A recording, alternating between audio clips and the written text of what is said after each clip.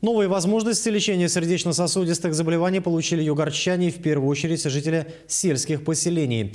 Накануне в Сургуте на базе окружного кардиологического диспансера открыли новое отделение. Оно позволит повысить доступность и качество кардиологической помощи пациентам из отдаленных районов региона.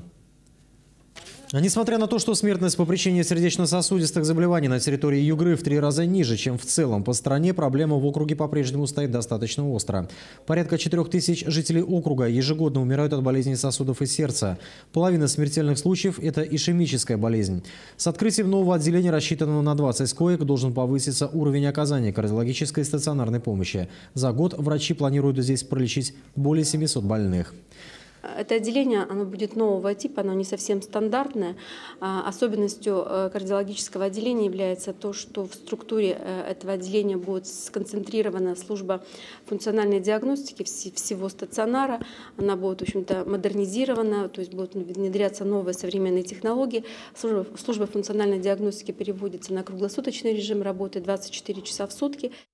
Также новое кардиологическое отделение будет работать в тесной связи со службой восстановительного лечения, чтобы не только проводить лечебно-диагностические мероприятия, но и вести курс реабилитации.